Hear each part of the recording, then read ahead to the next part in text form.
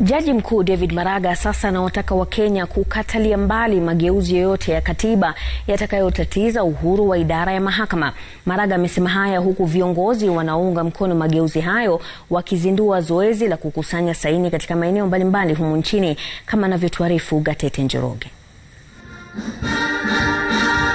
Ni katika hafla ya uzinduzi wa ripoti ya utendakazi wa idara ya mahakama katika kutekeleza wajibu wake wa kutoa haki kwa Wakenya kati ya mwaka 2019 na mwaka 2020 ambapo Jaji Mkuu David Maraga anayetarajiwa kustaafu mwezi Januari alitoa yaliyokuwa moyoni kuhusu mageuzi ya katiba. I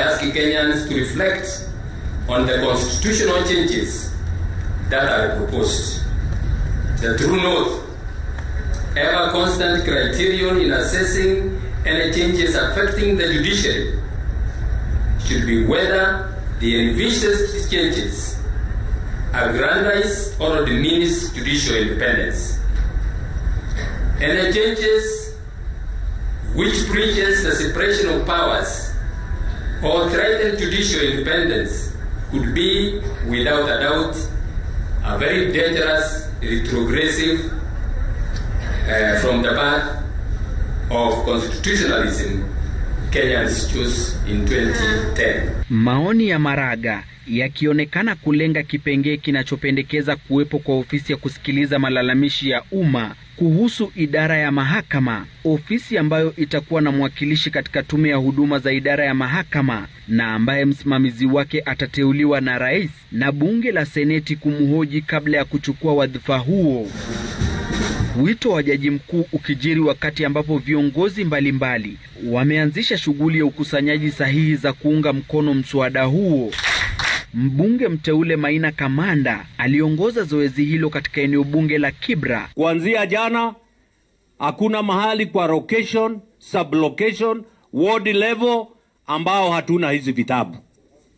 Kwa hivyo tunataka watu wa Nairobi, tafadhali tuwe sisi ndio wa kwanza. In the next two days, uh, by Sunday jioni tutakuwa tumehakikisha kwamba zile vitabu zote ambayo tumepewa hapa Kibra tutakuwa tumezijaza vile zinatakikana. Shughuli sawia iliongozwa na gavana James Nyoro kaunti ya Kiambu, ambako wenyeji walijitokeza kwa wingi. Kaunti za Kisii, Narok na Nakuru pia zilishuhudia hafla sawia, huku wito ukiwa ni kwa wenyeji kujitokeza na kuunga mkono mageuzi hayo. Sisi kama wenyeji wa Narok tumeamua kusupport BBI na tunaanza sasa kuweka hiyo signatures. Katibu mkuu wa KOTU Francis atuoli akiwafokea wale wanaopinga. Those who don't want the current constitution that I did, I and the rest appended our signatures on can spearhead a campaign and we face each other. Ni zoezi ambalo linatarajiwa kuendelea hadi wiki ijayo. Gatete Njoroge, runinga ya Citizen.